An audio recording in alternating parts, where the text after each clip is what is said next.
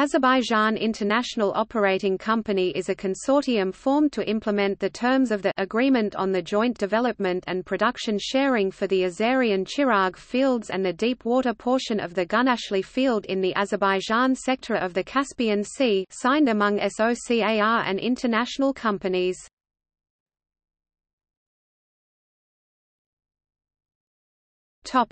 History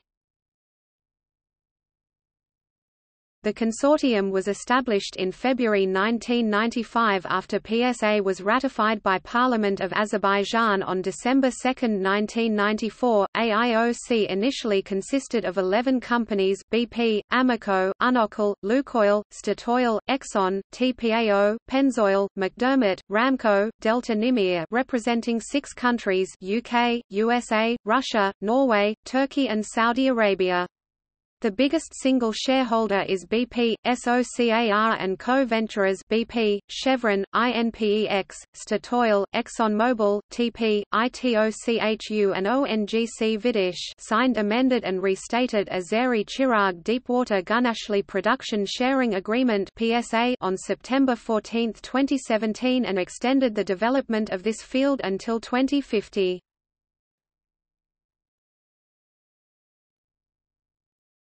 Topic. Overview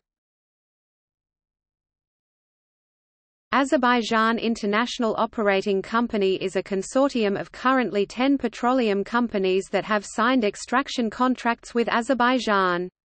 These companies include BP UK, Chevron United States, Devon Energy USA, Statoil Norway, Türkiye Petroleri Anonim Ortaklığı TPAO, Turkey.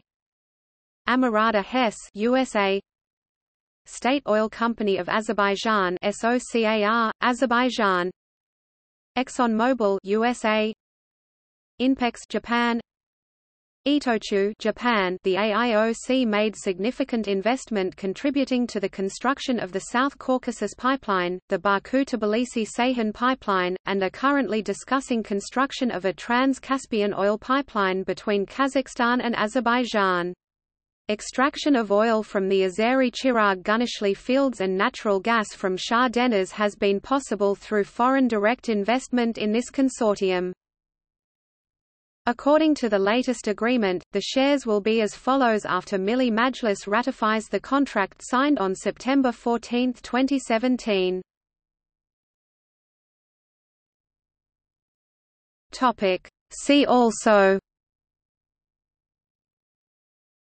SOCAR Azeri Chirag Gunashli Petroleum industry in Azerbaijan